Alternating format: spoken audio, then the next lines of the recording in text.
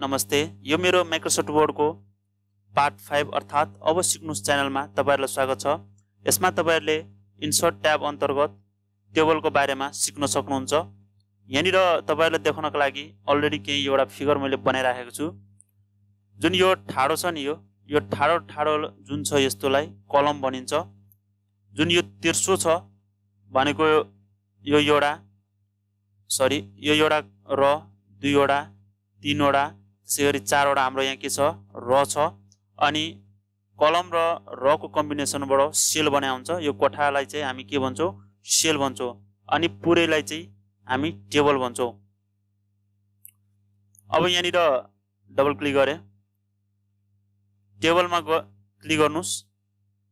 यहाँनिर यो ग्रिडबाट पनि तपाईँले टेबल इन्सर्ट गर्न सक्नुहुन्छ। यहाँनिर पोइन्ट गर्दै जानुभयो भने यहाँ मुनिपट्टि देख्न सक्नुहुन्छ।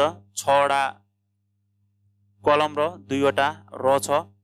जम्मा हाम्रो यहाँसम्म लानुभयो भने यसमा चाहिँ टेन इन्टु एट भनिरहेको छ माथिपट्टि यहाँनिर। यो यहाँबाट चाहिँ यति मात्र इन्सर्ट गर्न सकिन्छ। यदि योभन्दा धेरै इन्सर्ट गर्नु छ भने इन्सर्ट टेबलमा गएर पनि तपाईँले यहाँनिर टाइप गरेर ल्याउन सक्नुहुन्छ। टोटल जस्तै यहाँ छवटा कलम चारवटा र अनि ओके गरिदिनुहोस्। यहाँ जम्मा हाम्रो छवटा कलम छ चारवटा के छ र छ। टेबल ल्याउन साथ यहाँ माथि डिजाइन र ल्याउट भन्ने ट्याब आउँछ। यदि टेबलभन्दा बाहिर क्लिक गर्नुहुन्छ भने यो डिजाइन र ल्याउट भन्ने यो हाइट भएर आउँछ टेबलभित्र क्लिक गर्नुहुन्छ भने यो मात्र तपाईँले देख्न सक्नुहुन्छ डिजाइन र ल्याउट यहाँ डिजाइनमा टेबल स्टाइल छ। यसमा भनेको अलरेडी डिजाइन यहाँनिर बनाइराखेको हुन्छ। तपाईँले यहाँ चुज गर्न सक्नुहुन्छ कस्तो डिजाइन एप्लाई गर्ने हो भनेर। यहाँ क्लिक गरिदिनुहोस्। कुनै एउटा डिजाइन त्यस्तै सेम डिजाइन यहाँनिर एप्लाई भयो। यसलाई म अहिले इरेज गरिदिन्छु. इरेज गर्नको लागि यसलाई ल्याउटमा गएर यहाँबाट इरेज भन्ने छ। ड्र्याग गर्नु छ यति पुरैलाई यहाँदेखि यहाँसम्म। यो सबै के हुन्छ? डिलिट भइहाल्छ। फेरि इन्सर्टमा गएर टेबलमा जाउँ। यहाँबाट ड्र पनि गर्न सक्नुहुन्छ तपाईँहरूले टेबल यसमा क्लिक गर्ने। कतिसम्म चाहे पहिला फ्रेम ड्र गर्ने यसरी तानेर। लेफ्ट माउस थिचिराखेर तान्ने अनि छोडिदिने। अनि त्यसपछि यहाँ इच्छाअनुसारले तपाईँले टेबल यसरी ड्र पनि गर्न सक्नुहुन्छ। त्यसरी फेरि यहाँनिर र यहाँ तिनवटा र मैले ड्र गरिदिएँ। अझै बिचमा यहाँबाट पनि यसरी तपाईँले यस्तो डिजाइनको टेबल बनाउन सक्नुहुन्छ। फेरि यहाँबाट यसरी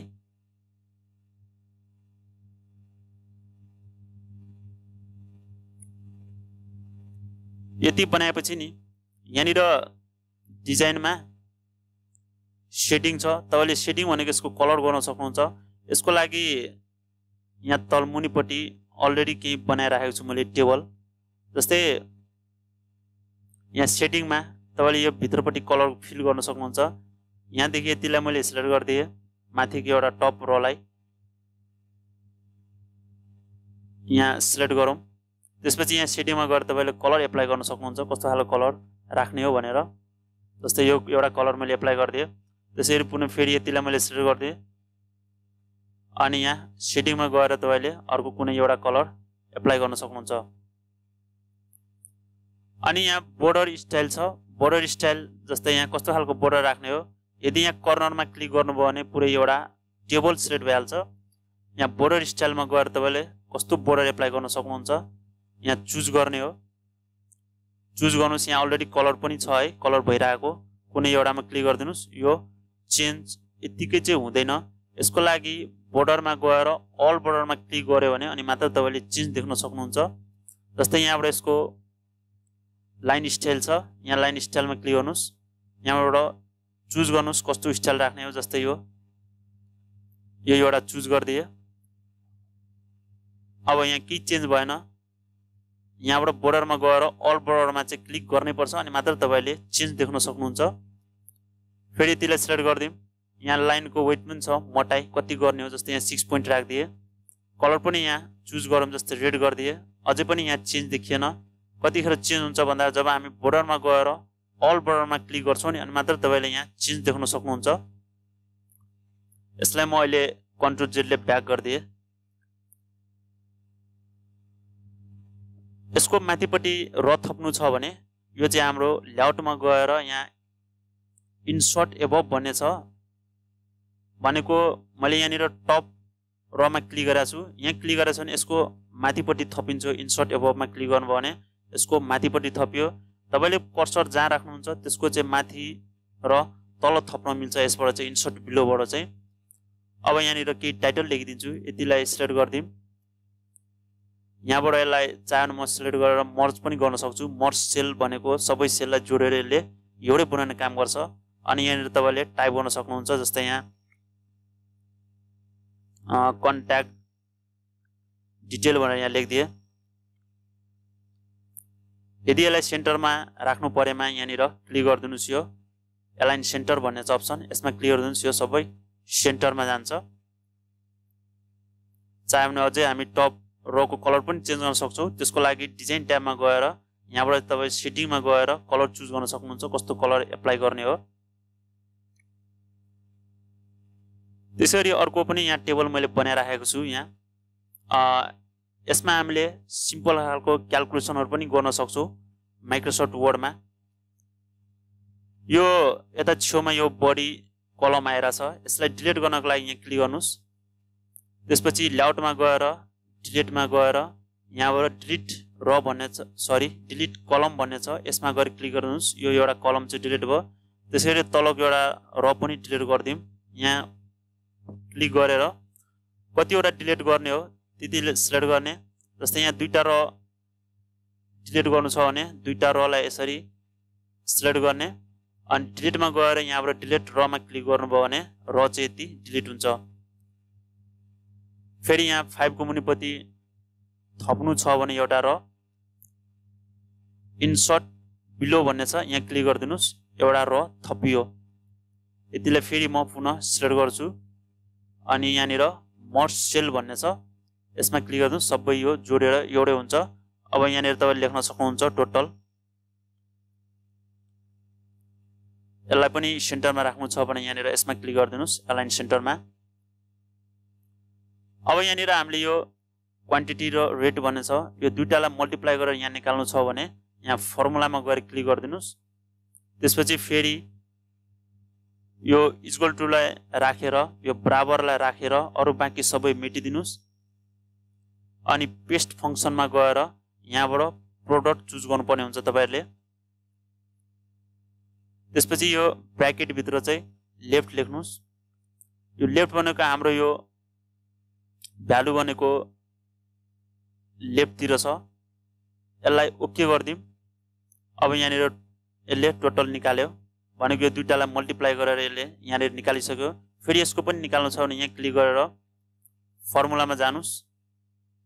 त्यसै गरी फेरि यतिलाई डिलिट गरिदिउँ यहाँनिर पेस्ट फङ्सनमा प्रोडक्ट अनि यो ब्राकेटभित्र लेफ्ट यहाँ तपाईँले यो बारम्बार लेखिराख्नु नपरोस् भन्नको लागि यतिलाई चाहिँ सिलेक्ट गरिदिउँ। कन्ट्रोल सीले यसलाई कपी गरिदिउँ। ओके गरिदिनुहोस्। अनि फेरि यहाँ क्लिक गरिदिनुहोस्। अनि फर्मुलामा गएर यतिलाई फेरि सिलेक्ट गरेर कन्ट्रोल भी गर्नुभयो भने अघिको चाहिँ के हुन्छ यहाँ? पेस्ट हुन्छ फर्मुला। ओके गरिदिउँ। त्यसै गरी यो सबैको फर्मुलामा गएर यहाँनिर कन्ट्रोल भीले पेस्ट। ओके। फेरि यहाँ क्लिक गर्नुहोस्। फर्मुलामा जानुहोस्। अनि फेरि यसलाई सिलेक्ट गर्नुहोस्। यसको माथि चाहिँ कन्ट्रोल भी प्रेस गरिदिनुहोस् अनि ओके अब यहाँनिर यति सबैलाई जोडेर टोटल निकाल्नु छ भने फर्मुलामा गएर यहाँनिर सम भनेको यो एड गर्ने हो जोड्ने हो एबोभ भनेर यो अलरेडी यो डिफल्टमा आइरहेछ। एबोभ भनेको यसको माथिपट्टि यो हामीले निकाल्ने कहाँ हो त्यसको माथिपट्टि छ भ्यालुहरू। यो भनेको एबोभमा छ। यसलाई चाहिँ केही चेन्ज गर्नु परेन ओके गरिदिनुहोस्। यो सबै चाहिँ के भयो? जोडेर यहाँ देखायो चाह्यो भने यसलाई हामी सिलेक्ट गरेर डबल लाइन पनि एप्लाई गर्न सक्छौँ यहाँबाट। फेरि यसको लेफ्ट साइडमा ल्याउटमा गएर यहाँनिर इन्सर्ट राइट भन्ने चाहिँ यहाँ क्लिक गर्नुहोस्। सरी यहाँ क्लिक गरेर इन्सर्ट लेफ्ट भन्ने छ यसमा क्लिक गर्नुहोस्। यसको लेफ्टपट्टि एउटा कलम थपिदियो। यतिलाई फेरि सिलेक्ट गर्ने। यहाँबाट मर्स सेलमा गएर क्लिक गरिदिनुहोस् यो सबै टोटल के हुन्छ? मर्ज हुन्छ। यहाँनिर तपाईँले लेख्न सक्नुहुन्छ जस्तै यहाँ पर्चेज बिल पर्चेज बिल भनेर लेखिदिए। यसको डाइरेक्सन पनि तपाईँले चेन्ज गर्न सक्नुहुन्छ। यहाँबाट टेक्स्ट डाइरेक्सन छ यसमा क्लिक गर्नुहोस्। यसको टेस्टको डाइरेक्सन चेन्ज हुन्छ। यदि यसलाई पनि यहाँ बिच सेन्टरमा राख्नु छ भने यहाँ अलाइन सेन्टरमा गएर क्लिक गर्नुपर्ने हुन्छ तपाईँहरूले। चाहे भने यसलाई पनि अझै हामीले कलर गर्न सक्छौँ। यदि अलरेडी बनेको यहाँ फर्मेट पनि छ डिजाइनमा गएर तपाईँले कुनै पनि फर्मेट यहाँबाट एप्लाई गर्न सक्नुहुन्छ कस्तो खालको फर्मेट राख्ने हो क्लिक गरिदिउँ अब त्यस्तै फर्मेट यो चेन्ज भयो। अनि यहाँनिर चाह्यो भने तपाईँले सर्ट पनि गर्न सक्नुहुन्छ भनेको यो एसेन्डिङ डिसेन्डिङमा अल्फाबेट अर्डरमा मिलाएर राख्नु छ भने यहाँनिर सर्टको माध्यमबाट तपाईँले यहाँनिर अर्डर गर्न सक्नुहुन्छ। अरू यसमा चाहे भने हामी डिस्ट्रिब्युट र डिस्ट्रिब्युट कलम पनि तपाईँले एप्लाई गर्न सक्नुहुन्छ। डिस्ट्रिब्युट भनेको यसको जस्तै यहाँनिर यसको चौडाइ यहाँबाट बढाइदिए। त्यसै गरी फेरि यहाँ बढाइदिउँ अब यो रको हाइट सबैको इक्वल छैन। त्यसै गरी कलमको इक्वल छैन। यिनीहरूलाई सबैले इक्वल पार्नु छ भने यहाँ क्लिक गर्दाखेरि कर्नरमा यो सबै पुरै टेबल चाहिँ सिलेक्ट भइहाल्छ। अनि यहाँ डिस्ट्रिब्युट र भनेको यो र चाहिँ सबैको हाइट चाहिँ एउटै भयो। त्यसै गरी डिस्ट्रिब्युट कलम गर्नुहुन्छ भने सबैको कलम चाहिँ इक्वल हुन्छ। यदि तपाईँहरूलाई भिडियो मन परे लाइक गर्नुहोस्। साथै अरूलाई सेयर पनि गर्न सक्नुहुन्छ र नयाँ भिडियो जानकारीको लागि सब्सक्राइब गर्न चाहिँ नबिर्सिनुहोला। थ्याङ्क यू धन्यवाद।